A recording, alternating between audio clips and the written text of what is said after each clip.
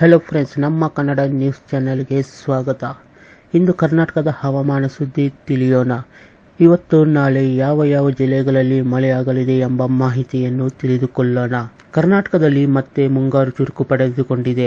ರಾಜ್ಯದಲ್ಲಿ ಹವಾಮಾನ ಪದೇ ಪದೇ ಬದಲಾವಣೆ ಆಗುತ್ತಿರುವ ಪರಿಣಾಮ ದಿಢೀರ್ ಮಳೆಯಾಗುತ್ತಿದೆ.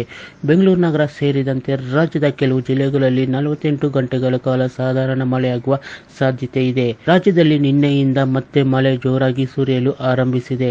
ಕರಾವಳಿಯ ಜಿಲ್ಲೆಗಳಾದ ದಕ್ಷಿಣ ಕನ್ನಡ, ಉಡುಪಿ, ಉತ್ತರ ಕನ್ನಡ ಜಿಲ್ಲೆಗಳಲ್ಲಿ ಮಳೆಯಾಗುತ್ತಿದೆ. ಕಳೆದ ನಾಲ್ಕು ದಿನಗಳಿಂದ ಬೆಂಗಳೂರಿನಲ್ಲಿ ಮಳೆ ಇಳಿಮುಖವಾಗಿತ್ತು. ಆದರೆ ನಿನ್ನೆ ಸಂಜೆ ರಾಜಧಾನಿ ಬಹುತೇಕ ಕಡೆ ಹಗುರ ಮಳೆಯಾಗಿದೆ. ಇಂದು ಕೂಡ ಇದೇ ರೀತಿ ವಾತಾವರಣ ಮುಂದುವರಿಯುವ ಸಾಧ್ಯತೆ ಇದೆ. ಇದರ ಜೊತೆಗೆ ರಾಜ್ಯದ ಬಹುತೇಕ ಕಡೆ ಗುಡುಗು ಸಹಿತ ಮಳೆ ಸುರಿಯುವ ಸಾಧ್ಯತೆ ಇದೆ ಎಂದು ಹವಾಮಾನ ಇಲಾಖೆ ಅಧಿಕಾರಿಗಳು ಮಾಹಿತಿ ನೀಡಿದ್ದಾರೆ. ದಕ್ಷಿಣ ಕನ್ನಡ, ಉಡುಪಿ, ಉತ್ತರ ಕನ್ನಡ ಜಿಲ್ಲೆಗಳಲ್ಲಿ ಬಿರುಸಿನಿಂದ ಮಳೆಯಾಗುತ್ತಿದೆ.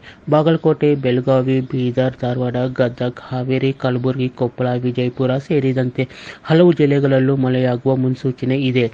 ಮಳೆ ಹೆಚ್ಚಾದ ಕಾರಣದಿಂದ ಶಾಲೆಗಳಿಗೆ ರಜೆ ಇದೆಯಾ ಅನ್ನೋ ಪ್ರಶ್ನೆ ಪೋಷಕರದು. ಸದ್ಯದ ಮಾಹಿತಿಯಂತೆ ಯಾವುದೇ ಜಿಲ್ಲಾಧಿಕಾರಿಗಳು, ಬಿಇಒಗಳು ಶಾಲೆಗಳಿಗೆ ರಜೆ ಘೋಷಿಸಿಲ್ಲ. ಇನ್ನು ಜುಲೈ ಆರಂಭದಿಂದಲೇ ಮುಂಗಾರು ಅಬ್ಬರಿಸಿತ್ತು. ಹದಿನೈದು ತನಕ ವಿವಿಧ ಜಿಲ್ಲೆಗಳಲ್ಲಿ ಮಳೆಯಾಗಿ ನದಿಗಳ ನೀರಿನ ಮಟ್ಟವು ಏರಿಕೆಯಾಗಿ ನೀರು ಬಂದಿತ್ತು.